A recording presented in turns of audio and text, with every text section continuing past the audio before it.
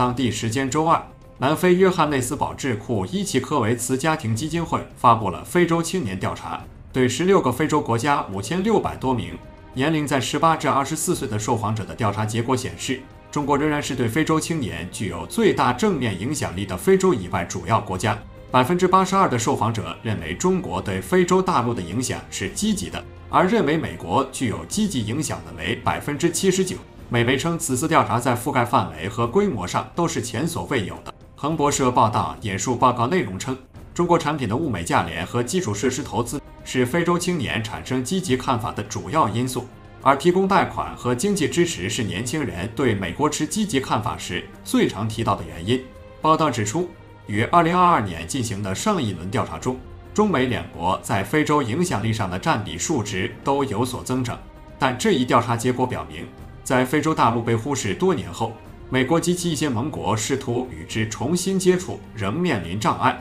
美国为提升其在非洲大陆的地位而采取的行动具有局限性。自2000年中非合作论坛机制启动以来，中国在二十多年来帮助多个非洲国家建设了从发电站到水坝。公路的各类基础设施，西方国家现在才想起来要重建与非洲大陆的关系，而他们这么做，更多的是看上非洲拥有着对能源转型至关重要的全球最大矿藏，一个年轻且不断增长的消费市场，以及非洲国家在联合国拥有的五十四张选票。而这也正是非洲青年在面对外国影响时最担心的问题之一。他们担心自己的国家被外国公司利用，特别是他们天然矿产资源的开采和出口。非洲人民得不到任何更多的好处，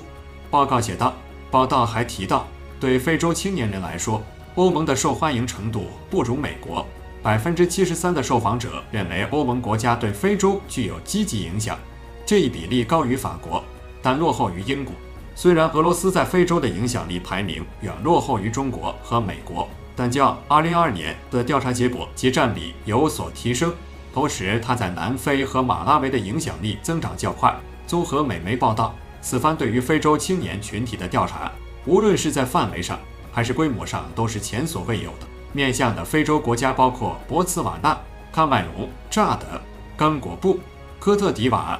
埃塞俄比亚、加蓬、加纳、肯尼亚、马拉维、纳米比亚、尼日利亚、卢旺达、南非、坦桑尼亚和赞比亚等。